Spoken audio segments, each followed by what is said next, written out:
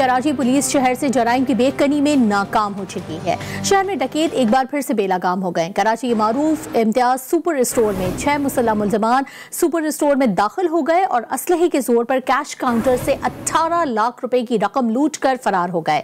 ये वारदात super store की बहादराबाद ब्रांच में हुई है। क्या दीगर तफसी सामने आ सकी हैं? जानेंगे अपने नुमाइंदे अली रजा से। अली रजा, ये बताइएगा, सुपर स्टोर के सिक्योरिटी गार्ड इस वक्त कहाँ थे जब ये मुसल्ला मुलजमान अंदर दाखिल हुए? जी हाँ बिल्कुल देखिए, पहले तो शहरी अब तो ताजे भी परेशान हो चुके हैं। स्ट्रीट क्रिमिनल से बादराबाद पर कायम ये सुपर स्टोर पर वारदात हुई। छह मुसल्ला मुलजमान आए दंदनाते हुए और बासानी जो है लोगों को यरगमार भी बनाया फायरिंग भी की और अठारह लाख रुपए लेकर जो है बासानी फरार हो चुके हैं। तहम कुछ देर कबल ये वाक्य पेश आया है। अब तक जो है किसी किस्म के जो मुलजमान के हवाले से तलाश का अमल है वो तो शुरू हो चुका है मगर अब तक जो है वो मुलजमान के हवाले बहुत शुक्रिया अली रजा अपडेट करने के लिए।